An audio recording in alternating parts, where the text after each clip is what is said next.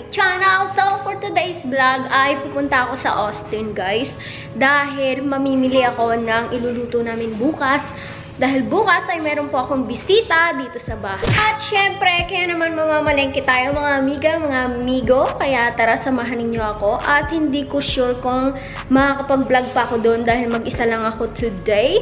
And syempre kasama ako si Haring David. Dahil hindi naman tayo makakapunta ng Austin kapag wala si Haring David dahil hindi pa tayo marunong mag-drive. O yun na nga, katatas ko lang maglinis ng aming bahay. Yan, malinis na siya. Ready for visitor tomorrow. Oo. So, ayun na nga, naglalaba din ako dahil para bukas, wala na ako masyadong iisipin pa, kundi ang mag-enjoy with my Inday. So, inaantay ko na lang si Manoy dahil wala pa siya at naka-ready na tayo. So, naka-t-shirt lang tayo today at ito dahil mainit sa labas. Siyempre, ang aking mga favorite sombrero. Charot! Favorite! Basta mainit kasi sa labas, baka mangitim ang ating face, you know? Charot lang. So anyway na nga guys, see you later alligator. But anyway, hindi pa pala, wait lang. May papakita pala ako sa inyo at ayan, may kortina na ating toilet. Nilagyan ni Manoy kagabi at ready for visitor na yan, no?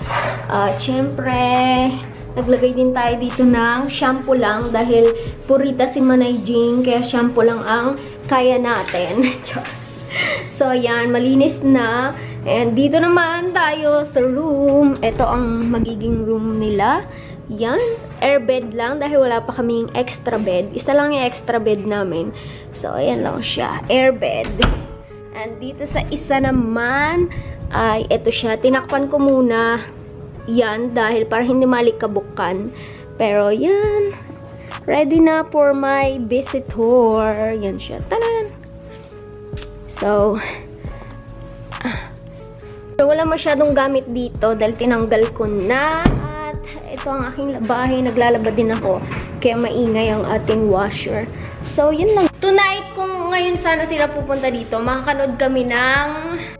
Makakanood kami ng concert dahil may concert ngayon doon sa park. Oo, nadaanan namin kanina na nagsiset up sila doon at may concert na magaganap. Pero hanggang ngayon lang daw sila. Tomorrow sana, kung hanggang tomorrow pa sana sila, makakapunta kami ng mga indies. Pero hanggang ngayon lang sila. So, yun lang mga 10. See you later. Bye-bye! Hey guys! We're finally home! Ouch! Ouch!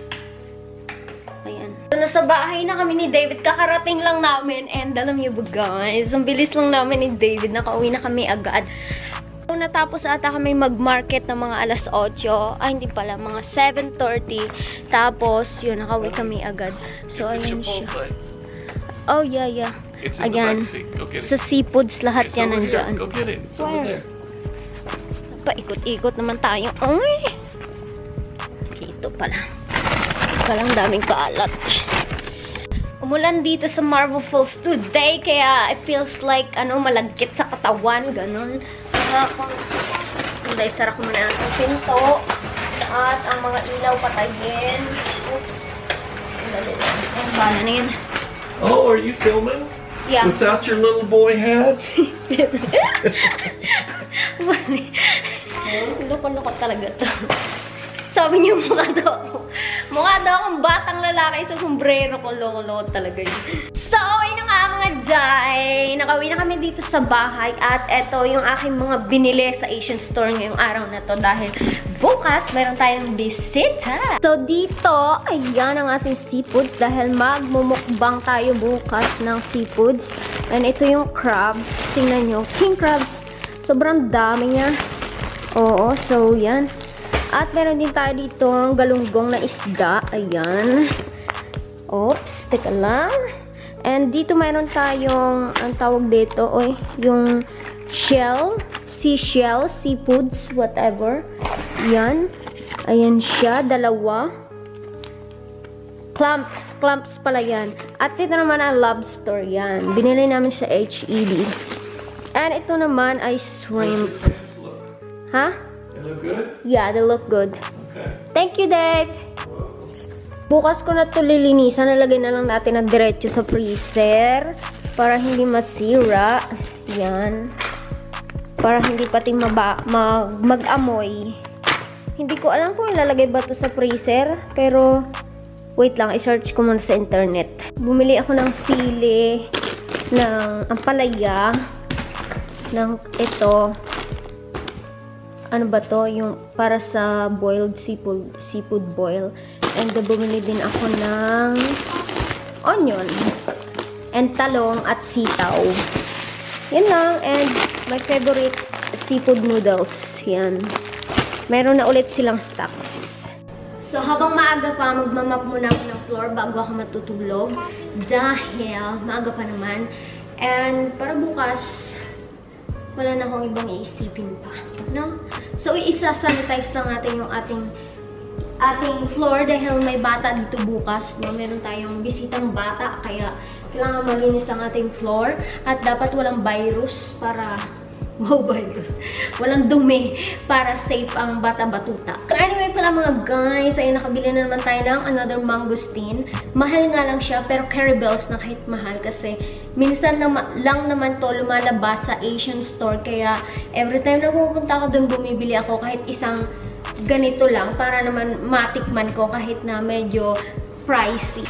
So, ang ginagamit namin pang floor at pang linis, itong bigay ng friend ni David. Ito kasi yung business niya, parang cleaner, uh, mga panglinis sa bahay, sa hotel, sa mga kahit ano. Nagpo-provide siya ng mga panglinis ng mga hotel, ganun yung kanyang business.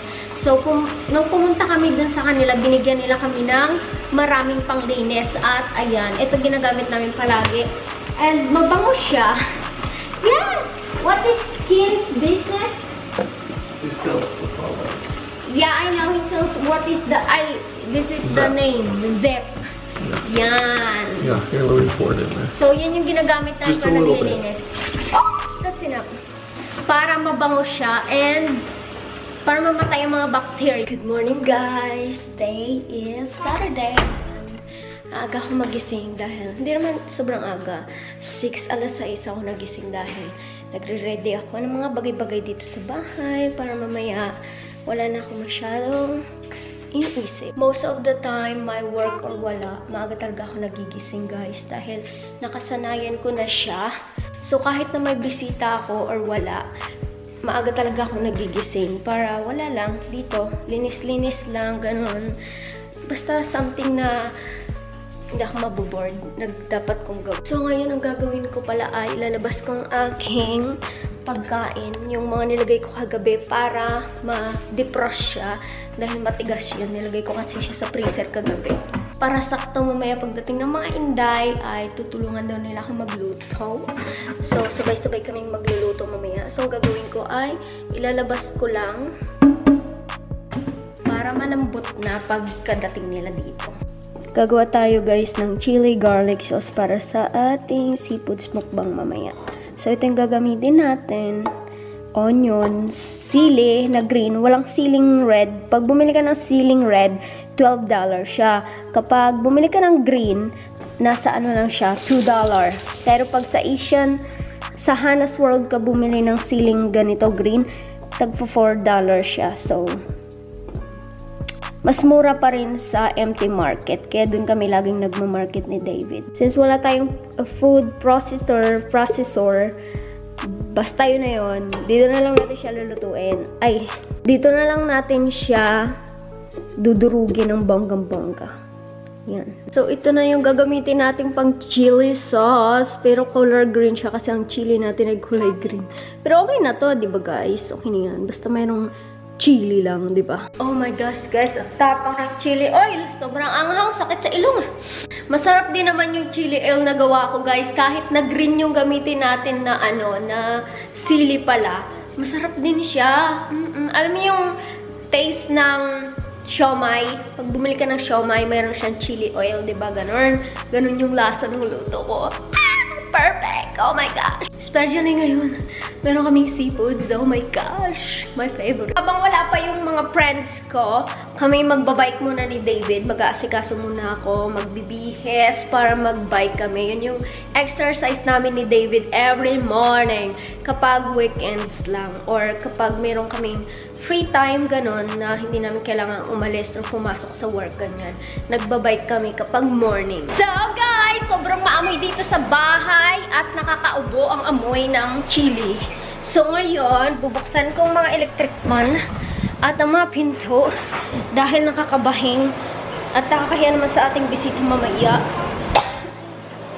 Makati sa, Makati sa lalamunan. So, magbabike muna kami ni Manoy habang wala pa ang aking mga jumiga at papunta pa lang sila dito. So anyway, before I start my day, I drink my vitamins. Ito ang aking pinaka-vitamins, yes. Before anything else, yan ang una kong iniinom. At ngayon naman, kakain tayo ng very, very light na prutas. Mangosteen! My favorite. Yan siya. Ah. So, kailangan nagdala tayo ng tubig.